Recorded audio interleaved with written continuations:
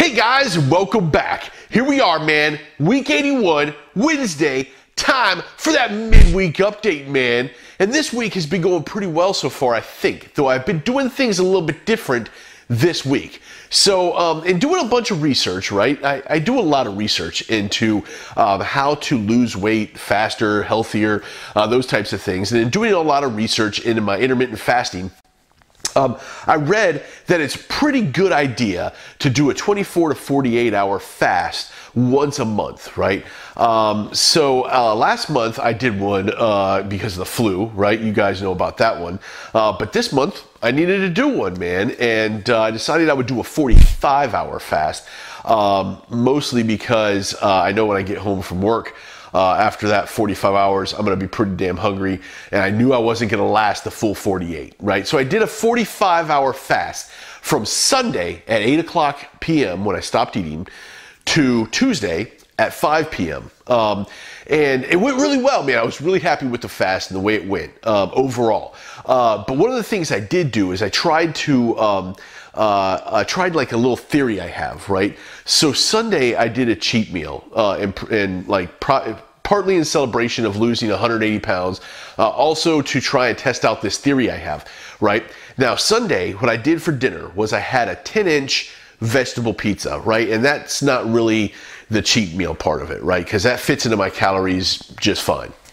The cheat meal part of it is the six Krispy Kreme donuts I had after that. I got a picture of it.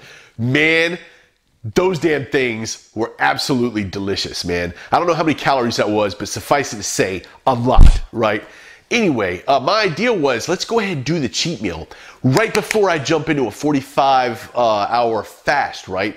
Because possibly the fast will help me, um, you know, basically negate all the calories I'm taking in uh, from the donuts. Uh, so that's what I'm hoping. I'm hoping to see if that works, man. So I'm testing that theory, man. We're gonna find out.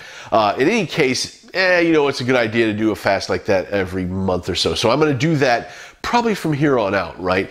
Again, um, it's not just sufficient anymore to, you know, just calorie count and create calorie deficits and, and things like that. At this point, um, you know, I'm trying to do anything I can, uh, you know, within reason, within healthy reason, uh, to try and stimulate fat loss uh, as we move forward, man.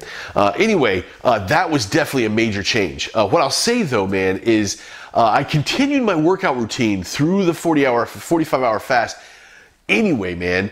Um, so as you know, I mean, Monday was shoulders, uh, back, and core, right?